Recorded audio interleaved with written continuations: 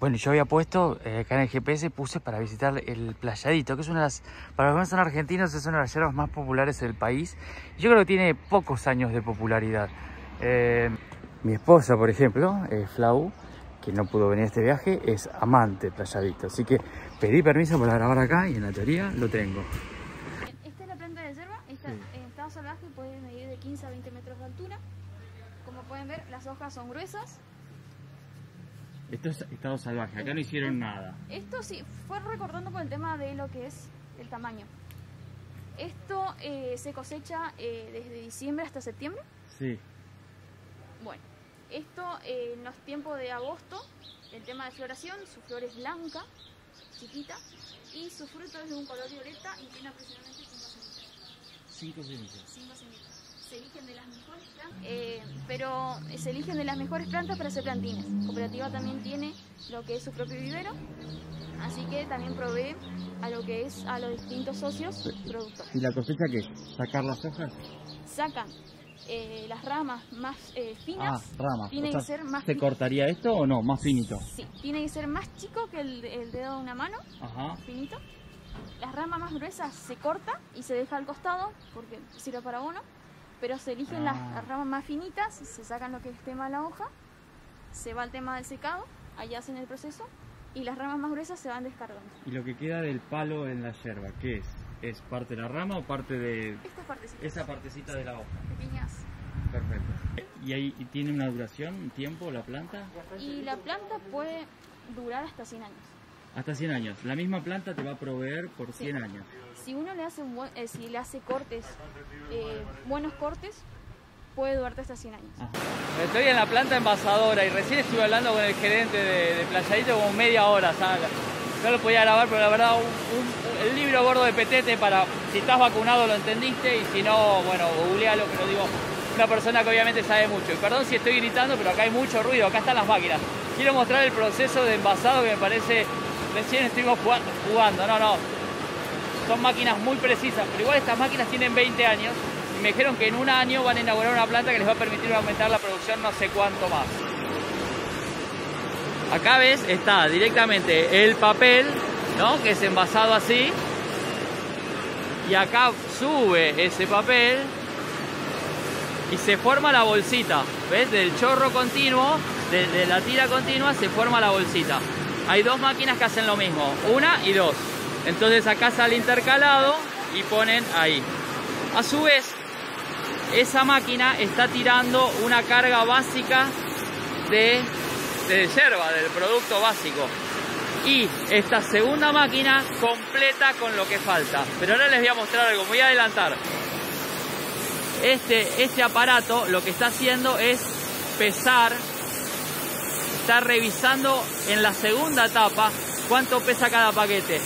El primero yo lo vi recién y estaba pesando 480 gramos. Entonces el segundo lo tira los 15 gramos que faltan. Mirá cuánto va pesando cada, cada paquete. Y a su vez este paquete, este aparato detecta metales por si en alguna parte del proceso sucedió algo. Vuelvo acá. Ahí se llenó. Acá se está cerrado. No tiene pegamento, se autopega. O sea, el papel se autopega. Y después acá queda lo que sobra del paquete y ahí se sella. Si el paquete pesara menos por error, esto lo empuja. Ahora le voy a pedir, ¿ves? Mira.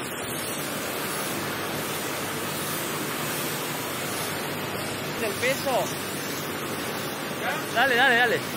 Él está haciendo que tenga más peso, ¿ves? O sea, lo toca o lo levanto. Entonces alteró el peso. Entonces la máquina dice que no corresponde y termina ahí adentro. Sale alto, Ah, y alto tira también. también, también. O sea, esa es una máquina, tiene sensores. Este lo marca, este lo marca y este lo marca. Son tres procesos distintos para verificar el paquete. No sé, me hermoso.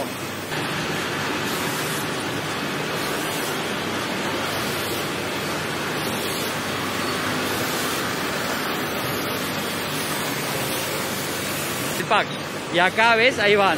Falta esta parte donde se termina armando el pack, como estos son los paquetes de medio kilo, se arman ahí 5, ¿ves? Y esto va a la bolsa, o sea, va directamente, y esto llega al supermercado. Y así llega al supermercado, ¿no? Con esta bolsa así, ahí van, ¿ves? Eso está secando el plástico seguramente para que, para que se pegue. Al lado tiene, ¿ves? La máquina de kilo, que la que mostré recién es más nueva, tenía 3, 4 años y esta digamos son 3, 4 años, ¿no? Aquella, estas son un poco más viejas, son un poco más lentas, pero ves esta es la de, mira, mira cómo está todo el proceso. Cada, cada parte tiene, ves, le corta una partecita y acá sale con un cepillo de metal, ahí, ahí sobra lo que sobra. ¿Ves? Todo esto. ¿Son alemanas? Estas son españolas. Esta es española.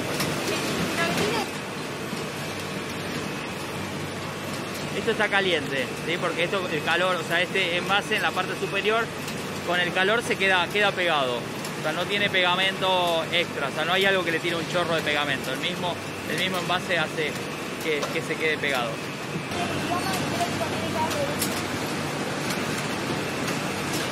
Esta máquina me decían que es la única de todas las que tienen que hace la versión con hierbas, que no es esta, pero porque allá tienen una parte que hace la mezcla exacta de las hierbas que van en el paquete. Bueno, ahora me, están invitando a ver la fábrica que va a inaugurar en unos meses. Creo que falta bastante, más de medio año. Pero, qué sé yo, a mí me, encantan todas estas cosas, poder entender cómo un producto tan masivo como, como la yerba, y en este caso playadito, que tiene una historia muy particular. Y digo playadito para que sepan, es hace 20 años, me parece que no la conocía nadie, y ahora creció mucho y me dejaron grabar que esto es un, hay de estos no sé cuántos edificios se hicieron y acá están haciendo una línea nueva que esta es como la máquina que mostré recién y con esto van a aumentar un 50% la, la, capacidad de producción pero para poder aumentar ese 50% además necesitan muchos más eh, depósitos que la yerba está entre 9 y 12 meses la playaditos las, digamos las hierbas generales de 9 a 12 meses de estacionamiento y acá afuera hace calor hace bastante calor pese a que estamos en el mes de julio hay 28 grados y acá adentro está refresco. Todavía no está funcionando eso, pero porque todo esto tiene una doble capa de aislación y tienen esos ventiladores que fuerzan aire. No son aire acondicionado, son enfriadores porque tiene, pasa agua fría por ahí y con eso eh, inyectan el aire y por allá lo extraen. Y de esa manera está todo, todo muy cerrado para el envasado de los productos. Bueno, lo que mostré recién es, acá tienen todo el depósito de, de, la yerba, que es la que tiene de, de, 9 a 12 meses de estacionamiento, en el caso de la Playadito, 24 meses en el caso de la Lieve, que es la Premium, y estas plantas que están acá son las que ya fueron cosechadas. Entonces así queda la planta después de haberle sacado todas las hojas necesarias para cosechar.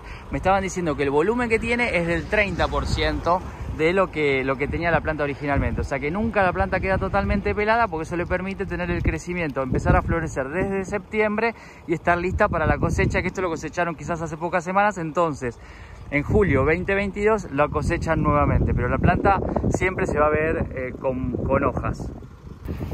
Mira, justo me están explicando, digamos, todo este tema. Estas plantas pueden tener 50 años y cada año lo que hacen, o sea, esta ya está, como ya he dicho, ya está cosechada, estuvieron cortando las, las ramas, pero todo eso queda para el año que viene. Y esta, la rama que cortaron acá va a ser esta, va a crecer el año que viene y va a ser mucho más grande. Pero son plantas que se van, que van durando años.